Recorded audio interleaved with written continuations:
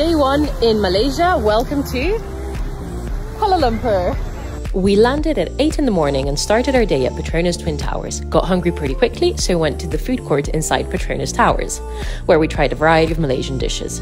From there, we went to KL Tower, where we enjoyed beautiful views over the skyline of Kuala Lumpur from the outdoors observation deck. Then, just across the road, we went to the Eco Forest Park in Kuala Lumpur, where we did the famous Canopy Skywalk. By then, it was 3 pm, so we could finally check into our hotel and go for a swim and relax a little. In the evening, we went out to Jalan Alor Street Food Market. It's a really cool street with loads of restaurants, bars, and street food stalls where you can try a variety of Asian dishes. The perfect end to our first day in Malaysia.